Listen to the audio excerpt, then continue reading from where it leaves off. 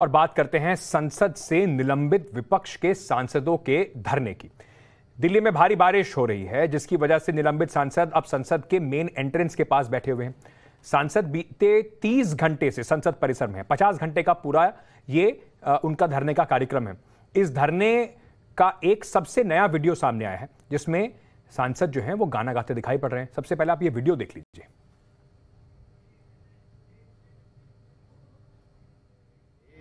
चलूँ एक ऐसे गगन के तले, जहाँ मोदी न हो, जहाँ शाह न हो, आ चल के तुझे मैं लेके चलूँ।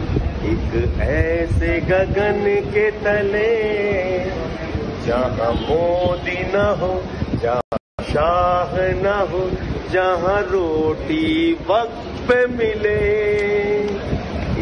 ऐसे गगन के तले चल के तुझे मैं लेके चलूँ। एक ऐसे गगन के तले, जहाँ मोदी न हो, जहाँ शाह न हो संजय सिंह हैं ये आम आदमी पार्टी के राज्यसभा सांसद। गाना गा रहे थे। गाने को उन्होंने राजनीतिक रूप ज़रूर दे दिया है। और संजय सिंह इस वक्त हमारे साथ जुड़ रहे हैं। संजय जी बहुत बहुत स्वागत आपका टाइम्स नाउ ऑफ़ भारत पर लोकतंत्र में। बहुत बहुत शुक्रिया हमारे साथ जुड़ने के लिए। 20 सांसदों से ऊपर सांसदों को निलंबित कर दिया गया है। मैं उस पर थोड़े सवाल पूछने से पहले, ये गाना जो आपने एक नया बना दिया, आप गायक बन गए राज्यसभा एमपी से, वो गाना क्या था? जरा दो लाइन हमें भी सुना दीजिए। देखिए, गाना तो आज से नहीं, मैं सत्रह साल के छत- छात्र आंदोलन की राजनीति से मैं हो गया करीब तैतीस साल हो गया सार्वजनिक जीवन में। तो ये कोई पहली बार मैं गाना नहीं गा रहा हूँ। मैं गाना गाने का शौक भी रखता हूँ और खास तौर से आंदोलन में कुछ क्रांतिकारी गीत या कुछ गीत अपने से बना के गाते रहते हैं तो ये कोई नई बात नहीं है मेरे लिए।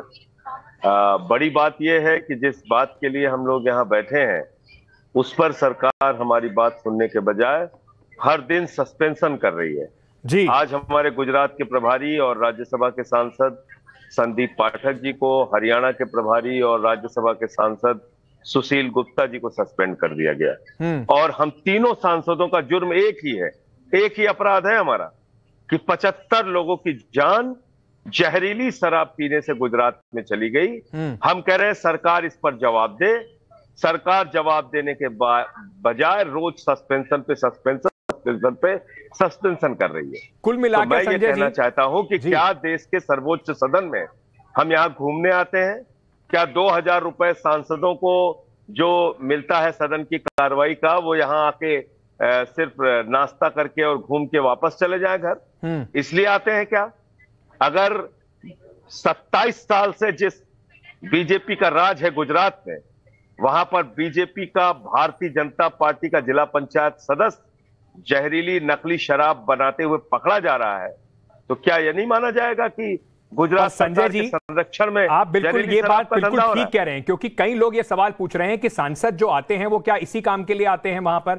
तो लोग ये भी पूछेंगे कि सांसद दो हज़ार रुपए के जो सब जो मिलता है आपको डेली का भत्ता जब आप संसद में सदन चल रहा होता है तो क्या स्पीकर के ऊपर पेपर फेंकने के लिए आते हैं प्लकार्ड लेके शोर मचाने के लिए आते हैं या फिर कोई मुद्दों पर बहस करने के लिए आते हैं?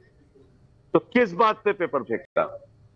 पिछली बार भी आपको याद होगा, ऐसे ही मेरी आलोचना पूरे देश में भारतीय जनता पार्टी के लोग घूम घूम के कर रहे थे। किस बात के लिए पिछली बार हंगामा हुआ था? तीन काला कानून देश के अन्नदाताओं के खिलाफ लाया गया था। और उस पर जब मैंने पार्लियामेंट के अंदर प्रोटेस्ट किया, ठीक है, टेबल पे भी चढ़ गया, मैं मानता हूँ अपनी बात। लेकिन जब आप देश के अन्नदाताओं के खिलाफ कुछ कर रहे हैं, हम सरकार से डिवीज़न की मांग कर रहे हैं, आपने नहीं सुना बात। तो हमने अपना तरीका अपनाया आपने सस्पेंड कर दिया पूरी रात उस समय भी संसद के परिसर में हम लोग बैठे थे। क्या हुआ उसमें? एक साल तक देश का अन्नदाता सड़क पर बैठा रहा बाद में मोदी जी ने कहा हमारी तपस्या में कमी रह गई काला कानून वापस लेते हैं। आपने मज़ाक बना रखा है इस देश को। आपको जब मर्ज़ी आएगी कोई भी कानून पास करेंगे जब मर्ज़ी आएगी कोई भी कानून वापस लेंगे। जी। पहले दिन ही हमारी बात मान लेते। तो क्यों ज़रूरत पड़ती है हमें टेबल पे चलने की? तो क्या अगर आज गुजरात के मुख्यमंत्री का हाँ। इस्तीफा हो जाए तो मुझे मुझे कौन सी ज़रूरत है? और एक उच्च स्तरीय जाँच हो जाए जिन लोगों की जान गई है उस पूरे मामले में। हाँ। तो कौन सी ज़रूरत है हंगामा करने की? तो वो तो गुजरात सरकार कराएगी ना। नहीं तो गुजरात सरकार ने कुछ कराया? गुजरात मतलब दिल्ली के अंदर कुछ हो जाए दिल्ली के अंदर कुछ हो जाए और बीजेपी वाले कहें संसद में आके हंगामा करके कि दिल्ली के मुख्यमंत्री को सस्पेंड कर दीजिए और उसके बाद फिर मैंने तो चर्चा की मांग की। जी। उस चर्चा के दौरान अपनी बात में कहता हम्म। अभी तो बात ही नहीं शुरू हुई थी। पर सरकार तो बात कहती भी है नहीं शुरू हुई सरकार ये कह रही है कि आप लोग पूरा एजेंडा डिक्टेट थोड़ी कर सकते हैं। ये आप थोड़ी हर बार तय कर सकते हैं कि जब किसी सांसद का मन करा कि इस बात पर आप चर्चा कीजिए तो उसी तो पे चर्चा क्या ये नहीं नहीं तो क्या ये डिक्टेट करेंगे इस देश को?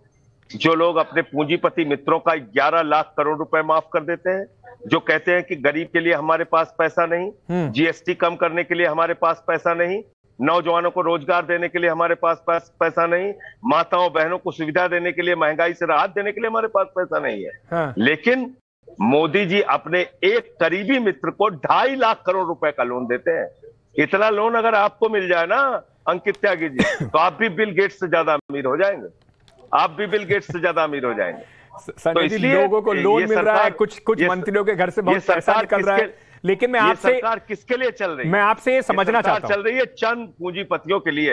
या तो मुझे अपनी बात या तो या तो विपक्ष का हंगामा होता है या सरकार विपक्षी नेताओं की बात पर हंगामा करती है कुल मिलाकर संसद का जो सेशन है वो धुल जाता है।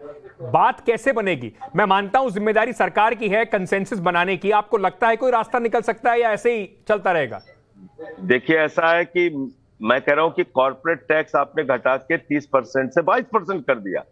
गरीब के दूध पे दही पे छाछ पे आटा पे दाल पे चावल पे अस्पताल के कमरे पे आपने बेतहासा टैक्स बढ़ा दिया। हाँ।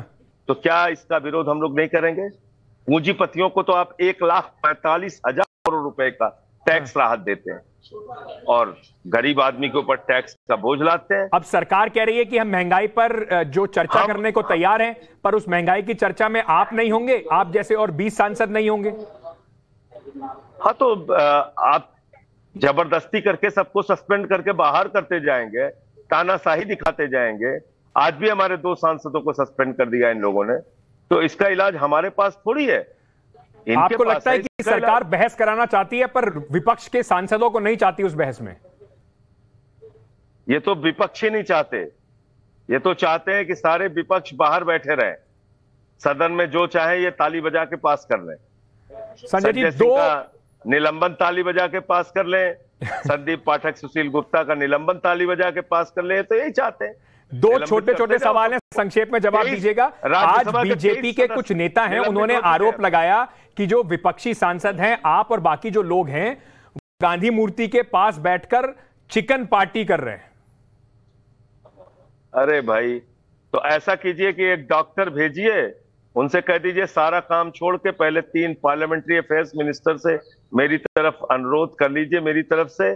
कि वो कोई डॉक्टर भेज के पहले मेरे पेट का ऑपरेशन करके कल से आज तक जो जो खाया है निकाल के चेक कर लें। ये कोई बात फालतू की बातें ये लोग मुद्दा बनाते हैं।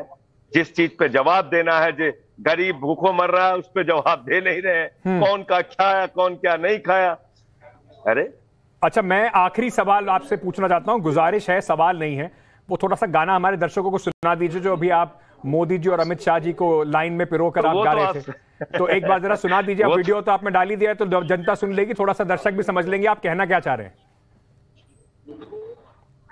आ चल के चल आ चल के तुझे मैं लेके चलूँ एक ऐसे गगन के तले जहाँ मोदी ना हो जहाँ शाह न हो, जहाँ युवा को नौकरी मिले। एक ऐसे गगन के तले, आ चल के तुझे मैं लेके चलूँ।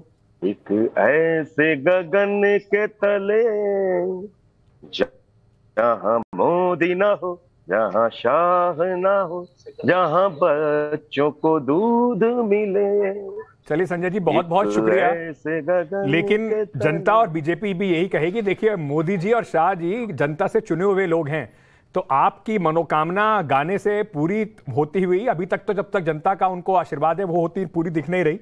लेकिन ये एक बड़ा मुद्दा बन गया है कि संसद कैसे चले सरकार कैसे विपक्ष को अपने साथ लेके चले क्योंकि ज़िम्मेदारी कुल मिलाकर विपक्ष की से साथ सरकार की ज़्यादा बनती है कि संसद की कार्रवाई को ठीक तरह से सुचारू रूप से चलाया जाए। ऐसा नहीं हो सकता इस देश के लोकतंत्र में कि सरकार सबको बाहर फेंकती रहे और उसके बाद अपनी मर्ज़ी से बुलडोज करके अपने जितने भी बिल हैं या जो भी संसद का काम है उसको पूरा करा ले।